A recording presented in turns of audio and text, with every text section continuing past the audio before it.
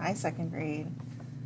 Today we're going to make a really cool um, picture that reminds me of tie-dye, if you know what tie-dye means.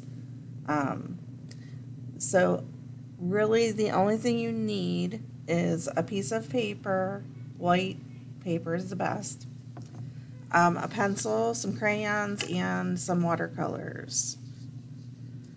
All right, so to start this um, picture, we're going to be drawing a big spiral all the way around our paper. So I'm going to start in the very middle, and I'm going to come out and around, and I'm going to keep going.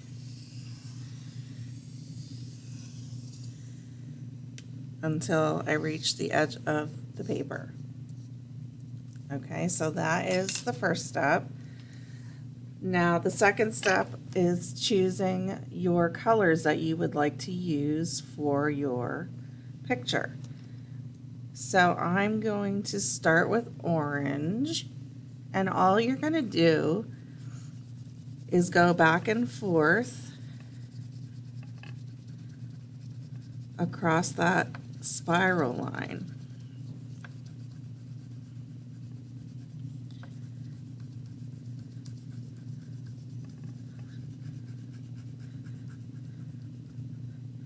So I just did that quickly because I, I want to stop and change colors when I get to that point.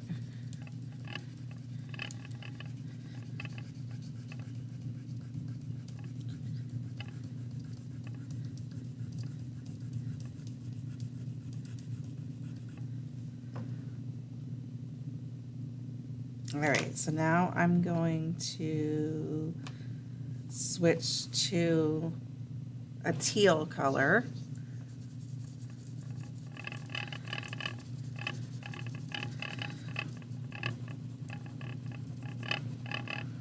Now, you want to make, I'm going to go back to orange because you want to make sure your colors are touching. So I need to make my orange come out a little bit more.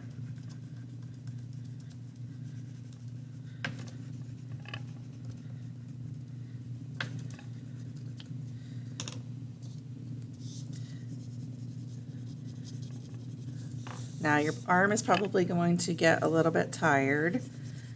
So if you need to take a break, you can always stop the video and come back.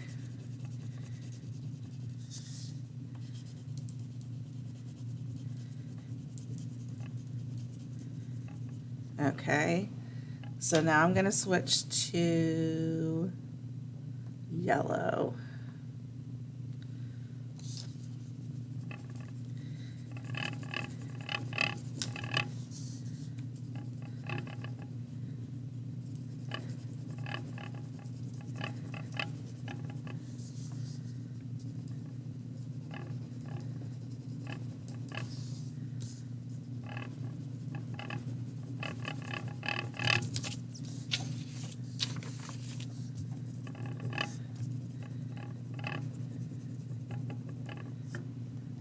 Okay, now I'm going to switch to a light green.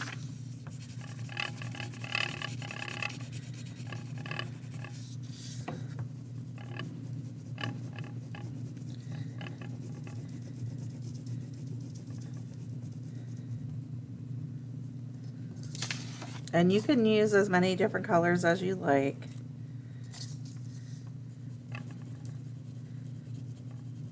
And you don't have to make the sections as big as I am if you want to get more colors on the paper.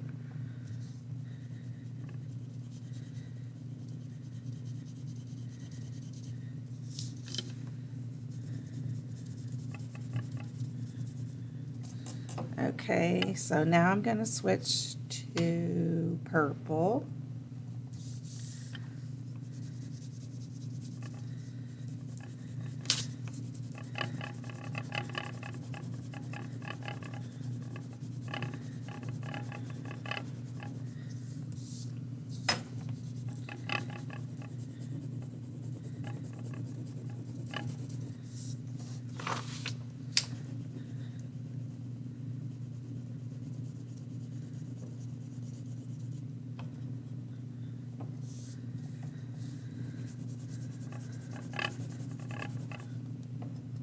Right, now I'm going to use a darker blue, which it may look, this purple probably looks blue to you as well, but it's, it's actually purple.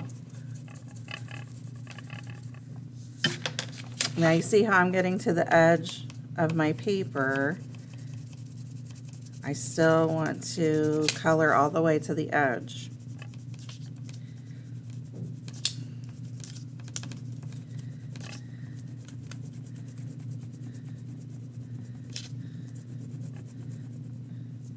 Now I'm going to switch to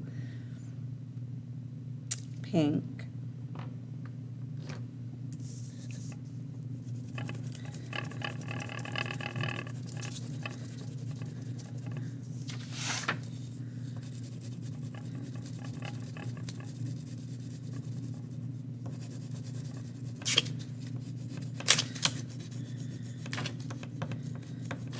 So this is a, a super easy project. And if you like the way it turns out, you can make more pretty easily. Get, you could give it to somebody for a gift. You could hang them up.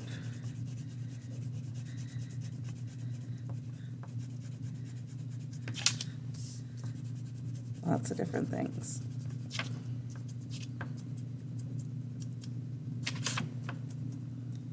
Okay, now you see how I have some space left in these two corners and over here. So I'm just going to choose one more color and color in those spaces. So let's see.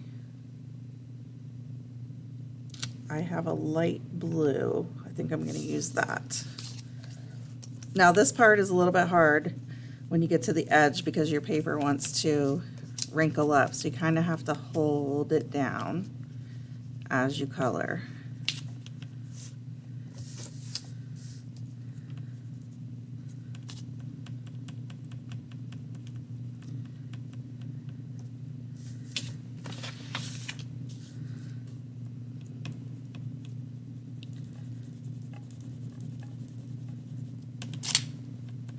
Now I've got some bigger sections over here on this side.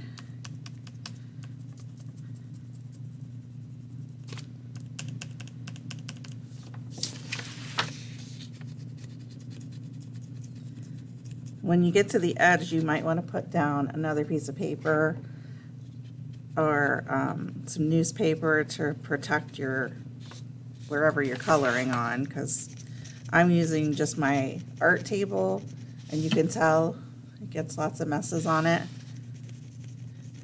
But unless you have a messy table that you're allowed to color on, I would put something underneath it. Okay, so there is the picture colored. Now, the only watercolor you need is black. So I've got my palette, my black is on the end.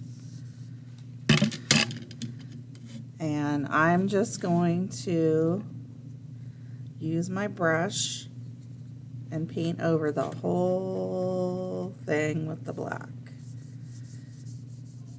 And what happens is wherever I didn't color, the black paint goes in those cracks and fills it in. And it also lays on top of the crayon. So you get some little like black bubbles, which makes it look really cool. So you're going to paint over the whole thing and then you need to put it somewhere to dry.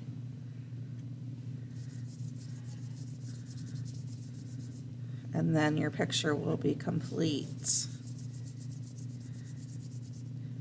But I think these just look so cool when they're done. Like something you really want to hang up and show people. And it was so easy to do. But it comes out like looking like maybe it was a little bit harder than that.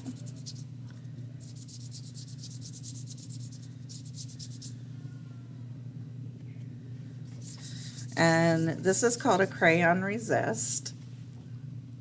And resist means um, it's kind of like the word no. Like if your parents say, oh, it's time to go to bed now, and you don't want to go to bed, you're resisting going to bed. So crayons are made of wax, and the wax doesn't let the water come through. So it resists the water. It's saying no to the water. That's why you see these puddles on top of the crayon. But then where the crayon isn't, in all those little spaces, the black paint is able to soak into the paper.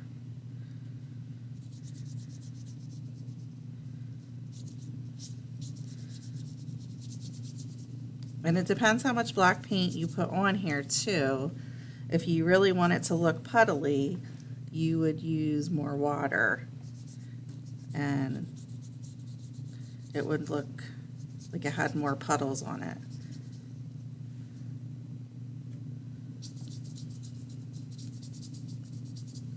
So I'll show you on the yellow because I think that's the easiest to see. If I want it to be, if I wanted to have more puddles, I just add more paint in that spot.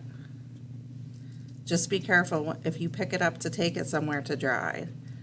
You have to be careful it, that it doesn't run off the paper. Okay, so this is one of my favorite projects because I just think it is so cool looking. It reminds me of tie-dye. All right, so I hope you like it too, and I hope you'll make lots of them. All right, I will see you next time for our next lesson.